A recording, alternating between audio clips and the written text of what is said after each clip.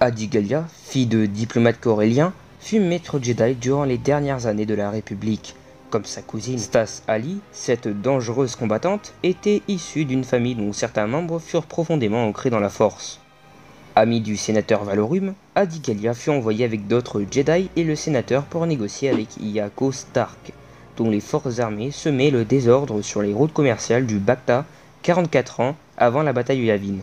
Mais les négociations tournèrent court et le combat s'engagea entre les pirates et les Jedi. Adi assura alors la protection de Valorum et les Jedi mirent en fuite Stark. Ils partirent ensuite pour Troyken, rejoindre les groupes de Tarkin, assaillis par l'armée de Stark. Avec l'aide de ses confrères, la jeune femme parvint à s'enfuir et à ramener Valorum et Newt Gunray sur Coruscant. Elle rapporta au conseil la situation délicate de Plo et des Jedi restés sur Troyken qui décida alors de lancer une vaste offensive aérienne lors de l'assaut final qui vit la victoire de la République et des Jedi sur les armées de Stark. Afin de faire cesser les attaques Inchori contre la République, Adigalia se porta volontaire pour aller dans les systèmes des agresseurs. Arrivé sur Itet, le groupe d'Adi se rendit sur la seule installation permanente de la planète. Mais les Jedi tombèrent dans une embuscade et durent se battre au sabre laser. Ils réussirent à prendre le dessus et Galia fit prisonnier le cousin de Vilmart Grak, un Dévaronien. Le groupe de la jeune femme quitta ensuite la planète et se rendit sur Imbikoror pour secourir le groupe de Mika Giet, puis celui de Maswindu sur Inkor. Une grande bataille s'engagea alors entre les forces de Inkori et les Jedi, et trois d'entre eux furent tués. Les survivants se rendirent ensuite au centre de commandement Inchori, qu'ils envahirent ce qui mit fin aux agissements de leurs adversaires. Quelque temps avant les événements de Naboo, Adigalia parvint à déjouer un attentat sur son vieil ami Valorum, devenu chancelier suprême en compagnie de Qui-Gon. Pour assurer la protection du chancelier, le conseil Jedi décida alors d'envoyer la jeune femme et d'autres Jedi au sommet d'Eriadu où devaient se tenir des négociations entre la République, la Fédération du commerce et les mondes distants à propos de la taxation des routes commerciales mais les Jedi ne purent empêcher des droïdes de la Fédération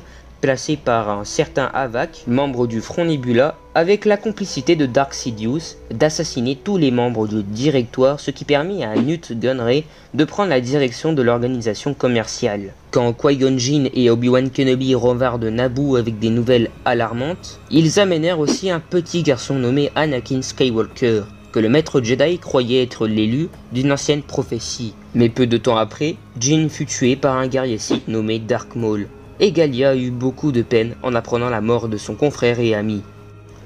Quelques années plus tard, à la demande du chancelier Palpatine, le conseil Jedi envoya un groupe sur Malastar pour surveiller la proposition de paix entre le peuple Lanik, dont est issu Evan Pale, et l'organisation terroriste nommée Iaro Rouge. Adi Galia se porta volontaire se sentant redevable envers PL qui avait sauvé ses parents d'une attaque de terroristes. Mais une fois sur la planète, les négociations échouèrent et Adi, Evan Peel et Mass furent attaqués par des membres du IRO. Finalement, les Jedi mirent fin au complot organisé par les terroristes. Après le meurtre de deux Jedi, J. Michael et Piercy, le conseil Jedi refusa d'envoyer la femme obscure à la recherche d'Ora Singh et sur demande de Kiadimandi, il lui confia cette mission ainsi qu'à Adi Galia et Ashrad Et. Le croiseur des trois Jedi se fit alors détruire par celui de la chasseuse de primes. Recueillis par le vaisseau du sénateur Tychus, les Jedi se rendirent sur une planète où ils retrouvèrent la femme obscure. Ensemble, ils partirent alors chercher Aura Singh. Adi Galia partit de son côté, découvrit les sabres laser des Jedi tués et sauta sur une mine alors qu'elle rejoignit le croiseur. Aidée par Kiadimandi et la femme obscure, elle monta dans le vaisseau pendant que Ashrad Et, aux prises avec Aura força cette dernière à se sauver. Adigalia fit partie plus tard du groupe de Jedi envoyé sur Kifex pour combattre Wolf Karko qui fut tué par Killian Vors avant qu'il n'arrive. Après l'attaque de plusieurs convois par le pirate nommé Crane, le conseil Jedi envoya Obi-Wan Kenobi et son padawan Anakin Skywalker pour assurer la sécurité dans le secteur. Adi inquiète du fait que Siritashi, son apprenti qui avait quitté l'ordre trois ans après la bataille de Naboo, soit toujours infiltré dans le gang de Krain. Elle demanda alors à Kenobi de la retrouver.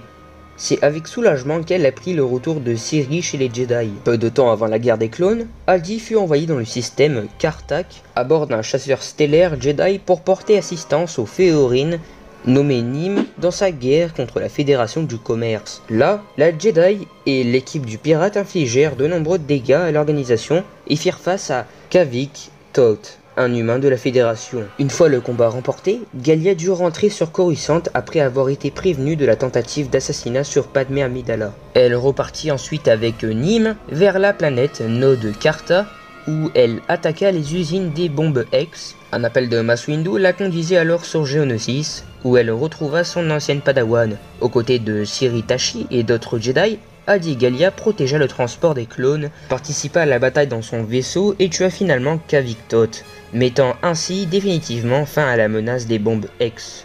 Deux mois après, Adi participa à la bataille de Kamino, toujours dans les airs, mais elle ne put empêcher la destruction de plusieurs anneaux d'hyperdrive quand le commandeur Merey de la Confédération des systèmes indépendants engagea l'autodestruction de son propre vaisseau.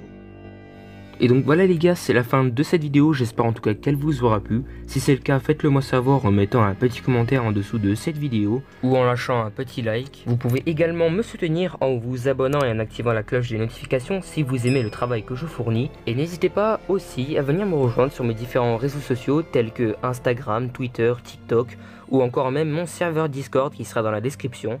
Et sinon, comme d'hab, je vous souhaite une excellente journée, une excellente soirée et que la force soit avec vous. Ciao tout le monde.